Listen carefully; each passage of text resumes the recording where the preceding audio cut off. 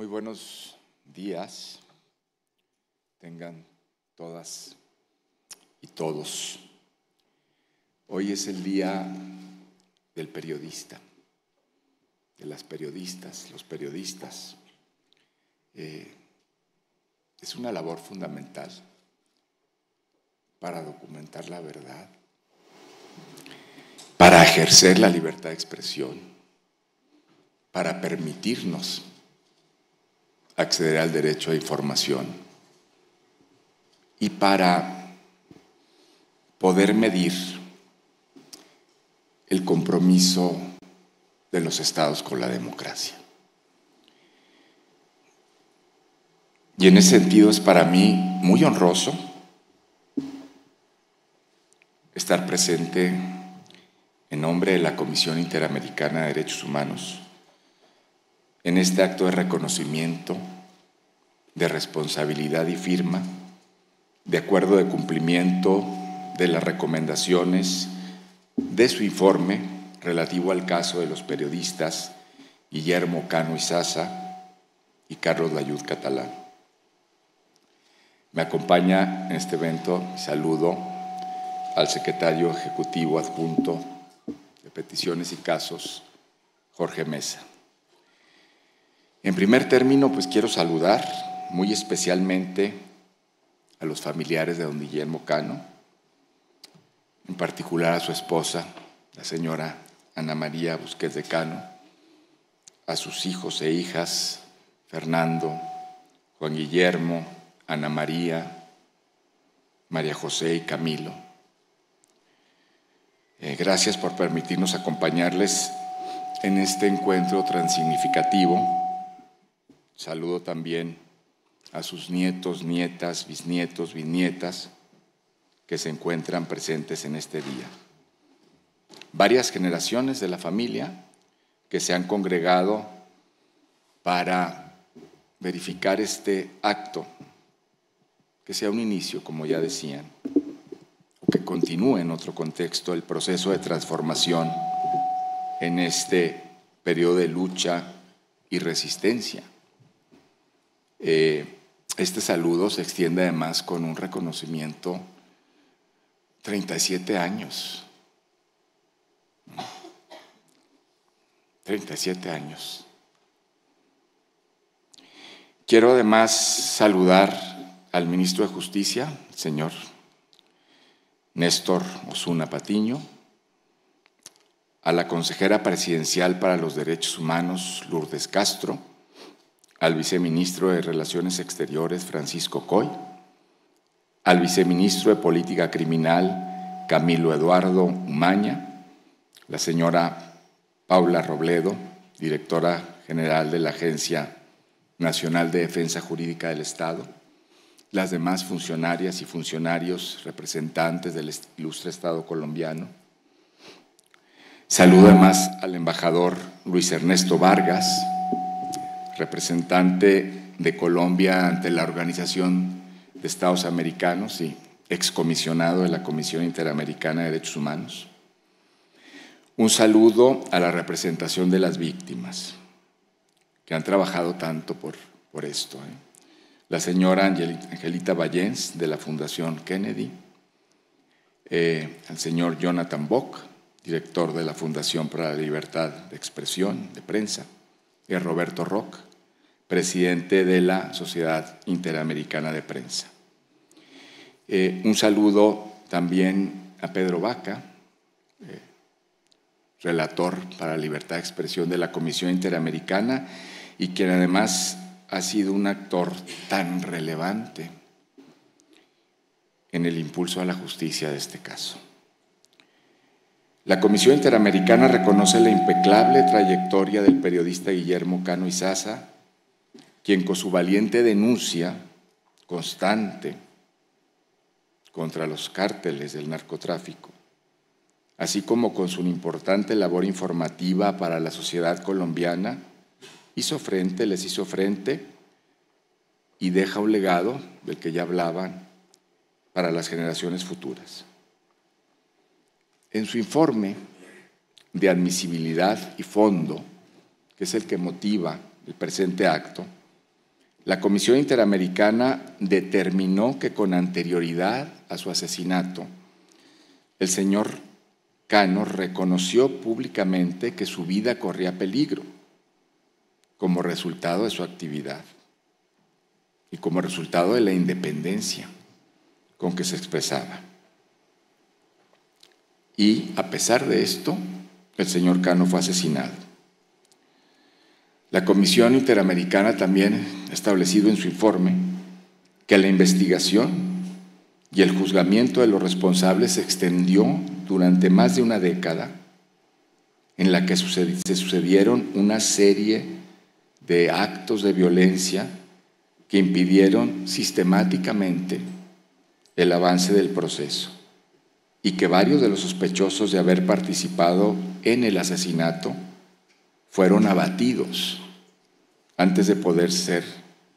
capturados por las autoridades. Una altísima impunidad. Por otra parte, en cuanto al periodista Layud Catalán, la comisión determinó que la víctima recibió amenazas de muerte que fueron puestas en conocimiento de las autoridades y que haber ejercido su derecho a informar y a expresarse libremente fue percibido como contrario a los intereses de las autoridades locales, lo que generó una carga extra en la obligación estatal de adoptar medidas de protección a fin de prevenir el daño en su integridad personal. La comisión determinó también que en el caso del señor Cano, su asesinato fue un duro golpe a la libertad de expresión en Colombia y en particular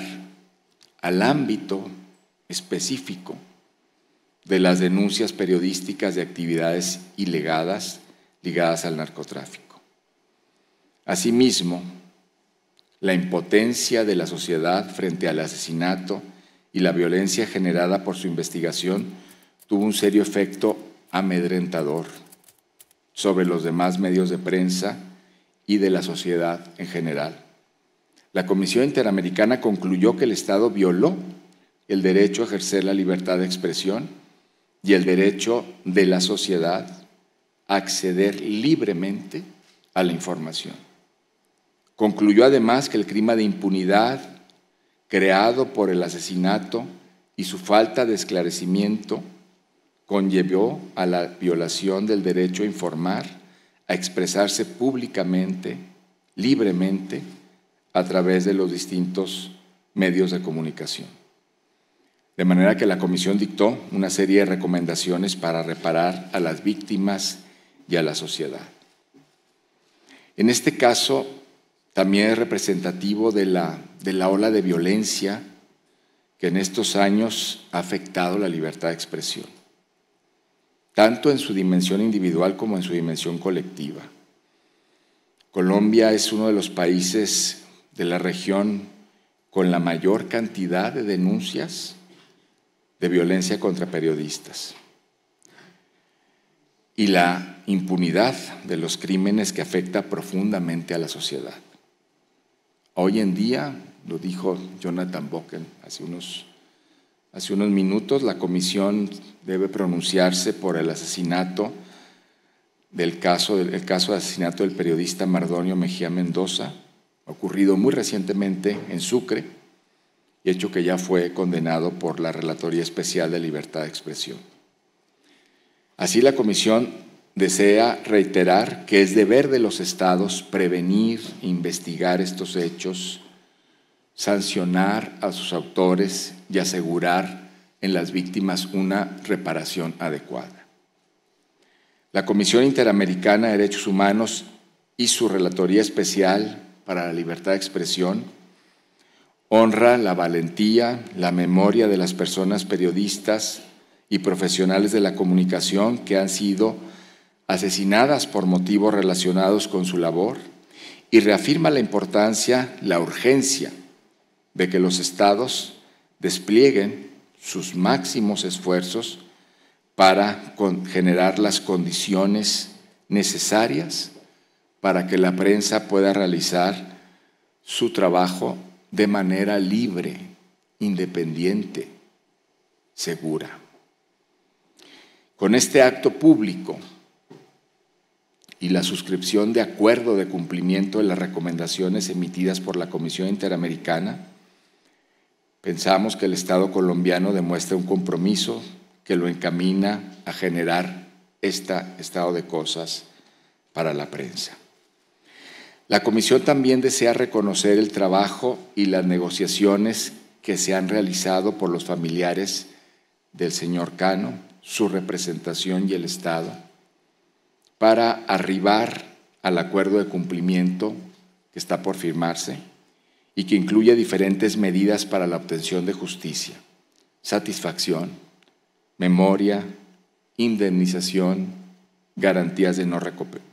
repetición. En este sentido, la Comisión desea destacar también el camino recorrido por las víctimas, ya se dijo, ante los ámbitos internos y en particular ante el sistema interamericano, que refleja esta lucha incansable que estamos atestiguando hoy y que se ha dado cuenta por décadas. Eh, y en este sentido es muy importante, señora Ana María, familia Canos Busquets, reciban, acepten una disculpa sincera de la Comisión Interamericana.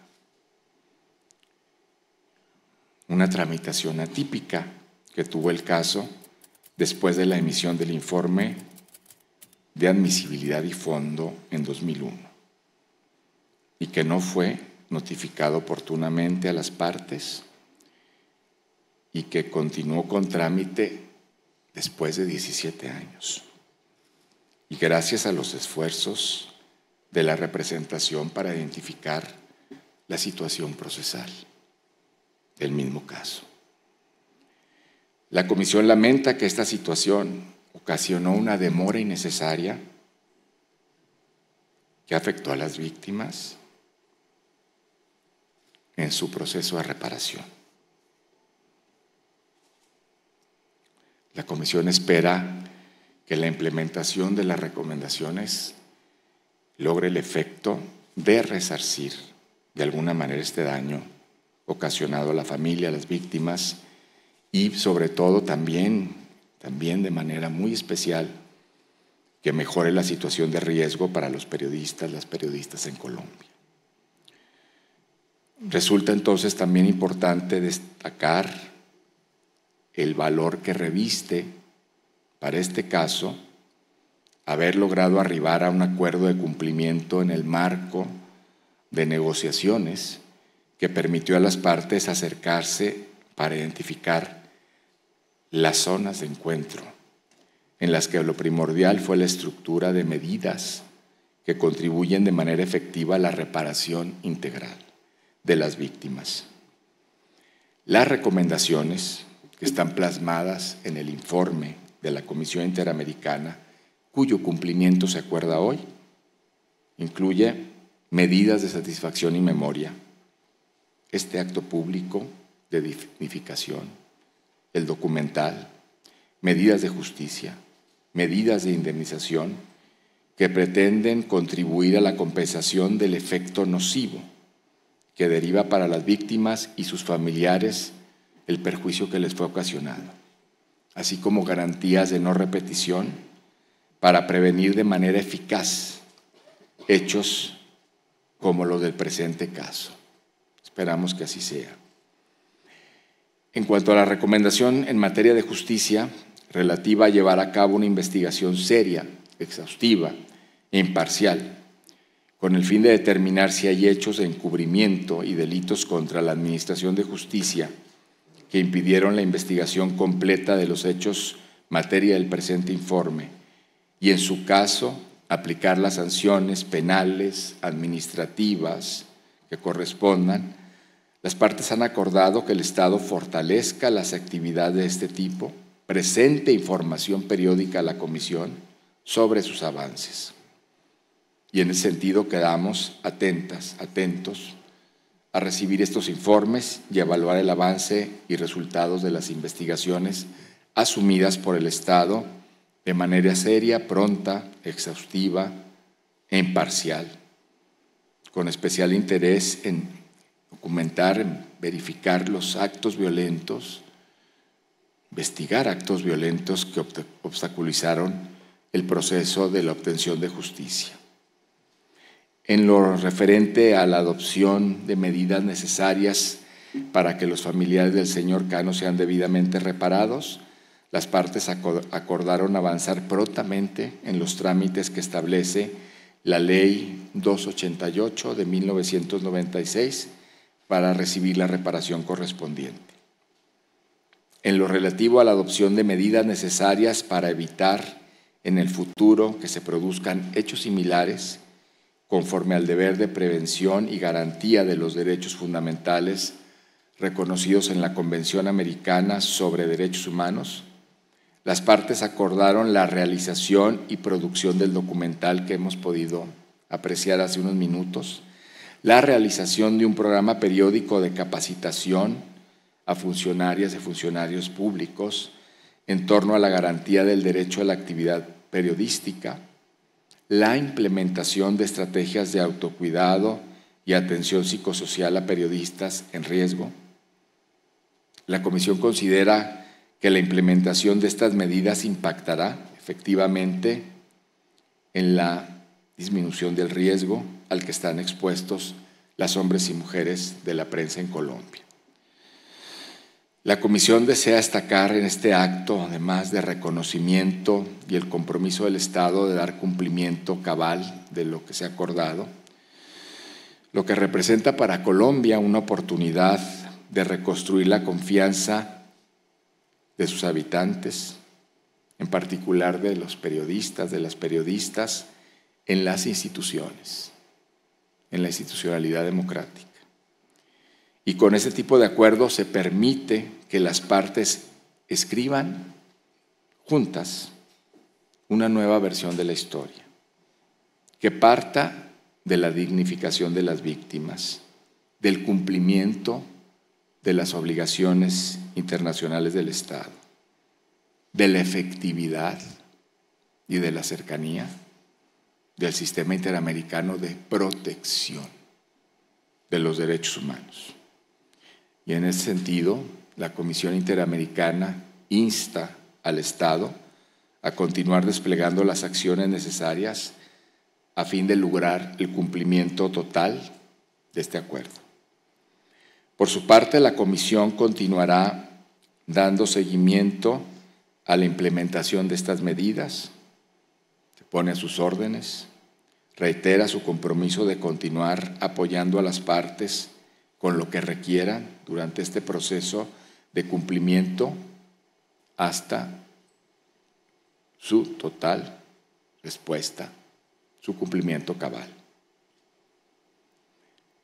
La Comisión valora que en los últimos años Colombia haya venido realizando reconocimientos de responsabilidad estatal, en varios casos ante el sistema interamericano y que su proactividad institucional para arribar a acuerdos de cumplimiento con las víctimas. Esto es muy importante. Y en ese sentido, la Comisión alienta al Estado a continuar por este camino de impulso para generar condiciones en las que arribemos a acuerdos de cumplimiento y que permitan el ejercicio, la fortaleza de los derechos humanos de este gran país. Gracias.